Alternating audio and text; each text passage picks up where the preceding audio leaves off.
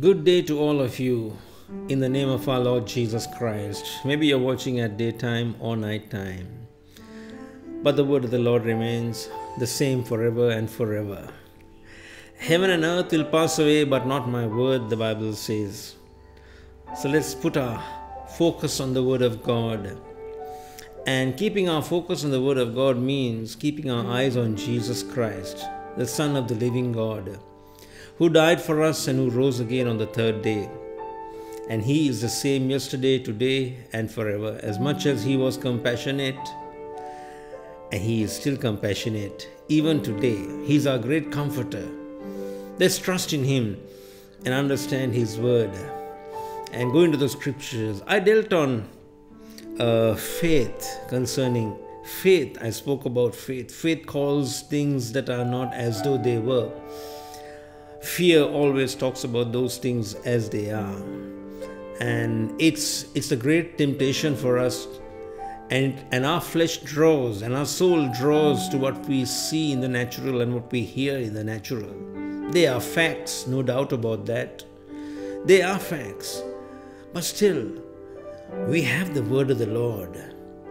We have the word of the Lord. In fact, the Bible says, let's go to the book of uh, um, Hebrews chapter number 11 and verse number 1. Now, faith is the substance of things hoped for and the evidence of things not seen. Faith is a substance, is a substance or it's an assurance or something that is set under as a foundation. Now, faith is a substance of things hoped for. What do you hope for today? You hope for a better future. You hope for the best for tomorrow. In fact, I personally hope today is a day of salvation. Today is a day that we would see every good thing that Christ has. Heaven has never changed, the plan of God has never changed. He is the same yesterday, today, and forever, and He doesn't change. So, as the scripture says here, faith is the substance of things hoped for. You're not in hope, you may be in a hopeless condition, but then probably you need to turn around and have some hope. Stop believing all that you hear and start believing all what Christ has done for you. Christ, He became a curse for us. Cursed is everyone that hangs on the tree. And thank God Jesus died for us, for you, and for me, for each and every one of us, so that we would be able to come into the place of understanding all the good that He has for us can only be received, it cannot be begged for, it cannot be earned it has to be received, and that's grace. And, and one of the meanings of the word grace, or one of the understandings of the word grace, is the one who wants to give is more interested in giving us than the one who receives. Can we understand this? He's more interested in us, in giving us all that He has for us, every good thing He has for us, than we are waiting for it we of wait, okay, now I wonder if it is God's will. No, it is God's will. God's will never changes. It says in the book of 3 John and verse number 2 Beloved, I wish or I pray or I strongly desire that you prosper and be in health even as your soul prospers. Even as your soul, and that word soul means your mind. The soul comprises of your mind your will and your emotions and your intellect. That's where we need to have good information put into. We need to understand it is God's will, it's God's wish, it's God's desire. It was just not a wishful thinking of John for a journey that he was about to go to or somebody else was supposed to go. No, it is God's will. It is God's will. It has always been God's will. If He healed one, He is always willing to heal the other. If He has provided for one, He is always willing to provide for all. He's our good Savior, He's our loving Father. We need to hear something good to change our way of thinking. We need to hear the right thing. We need to hear the right thing. And when you hear the right thing, you speak the right thing. It means a lot. It means a lot when you speak the right thing. So, faith is the substance of things hoped for, the evidence. Somebody might say, Let me see, show me, give me the evidence. The evidence of things not seen. Shall we add something to it? It does say things that we don't see physically, but we believe they are. Physically, they are. Your healing is just there for you. The goodness of God is just there for you. God's protection is just there for you now, right now. Keep your focus on the Word of God.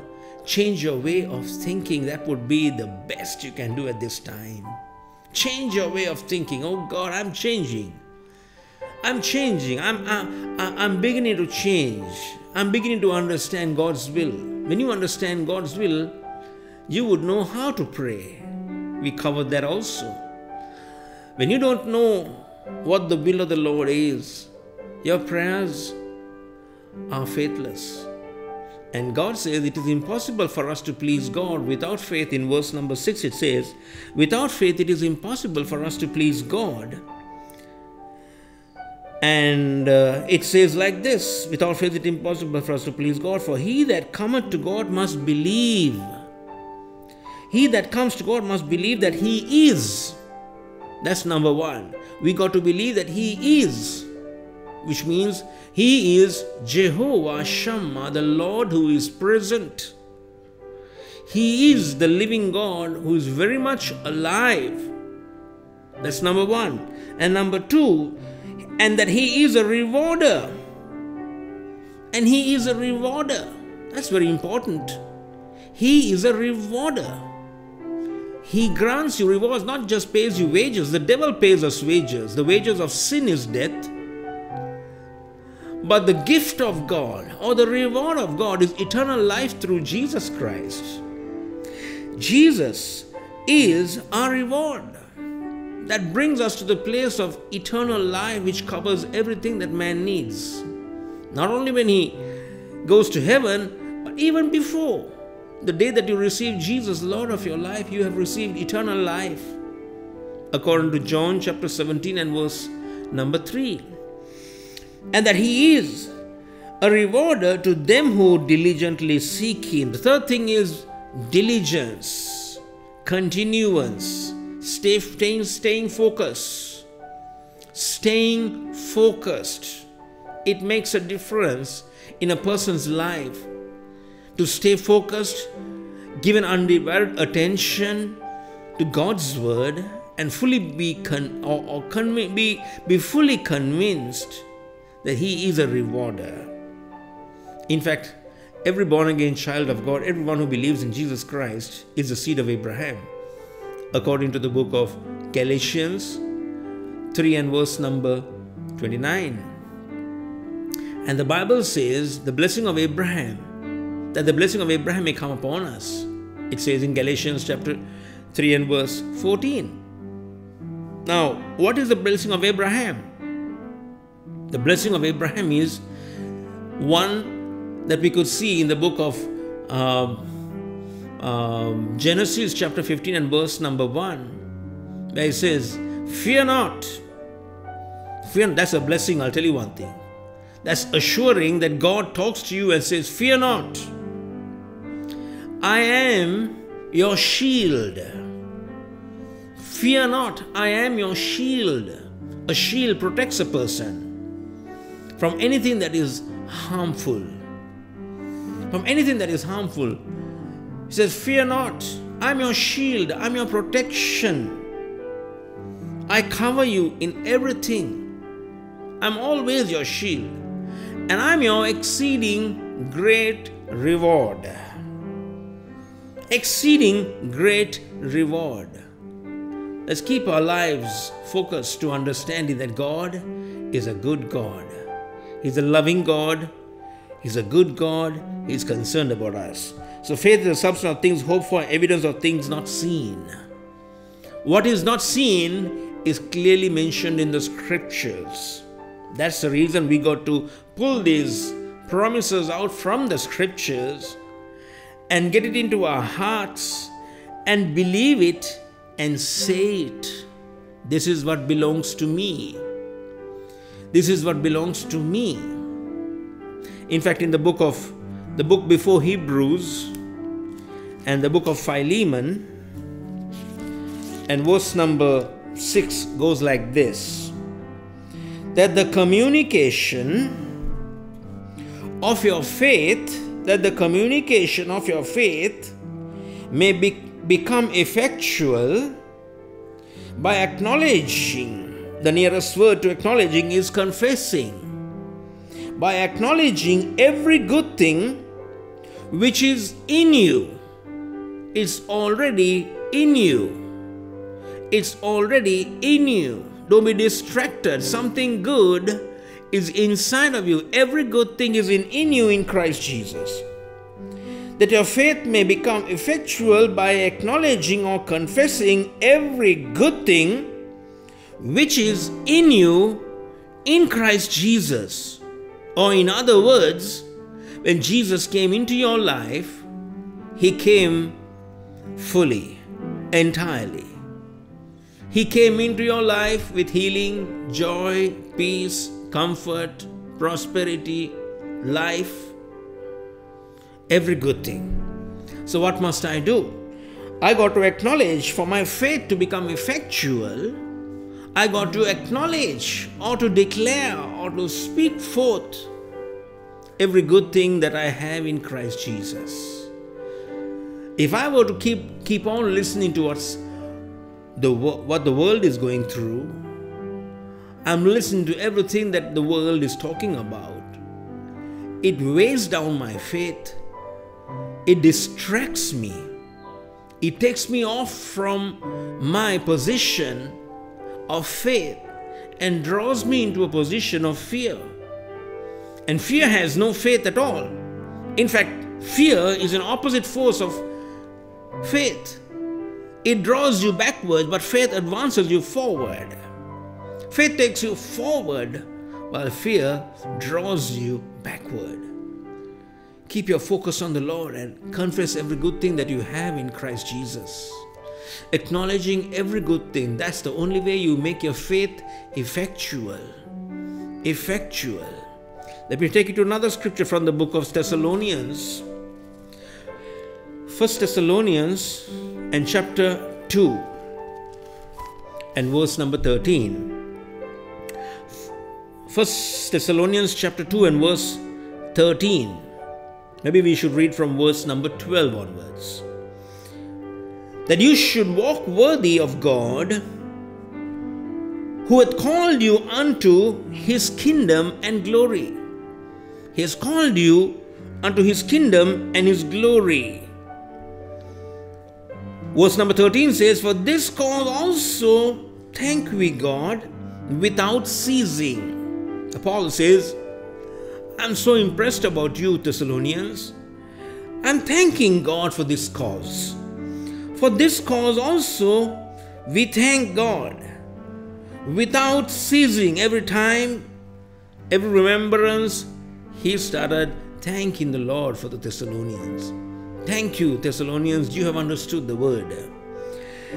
When you received the word which you heard of us, you received it not as the word of men, but as it is in truth the word of God. In other words, we spoke to you, we are men. We spoke to you, we only carriers, we were vessels of carrying the word of God into your lives. And you didn't look at the carrier, you just looked at the word. You looked at the word. You just received the word. It was the word that you were focused on. You didn't say it came from Paul, it came from Peter, it, or it came from some other source. Oh, these are words. No, we received it as it is in truth. We receive as it is in truth the word of God. The word of God. We received as the word of God. This is the word of God we receive. By the stripes of Jesus, you are healed. By the stripes of Jesus, you are healed. You're not going to be healed someday, but you are healed. You receive it by faith and you declare it. And which effectually worketh also in you that believe. So, how is your faith effectually working? When you start believing the truth, not as the words of men, but as the word of God. And you start seeing things happening in your life. You say, Thank you, Father. I trust you, Lord, for this good word that I have received. I received that word. I received the word of God with meekness in my heart. I don't try to rationalize. I don't try to put fear and faith together and try to neutralize the word of God. The Bible says people, even in his time, in the times of Jesus, they made the word of God to non effect, the Bible says.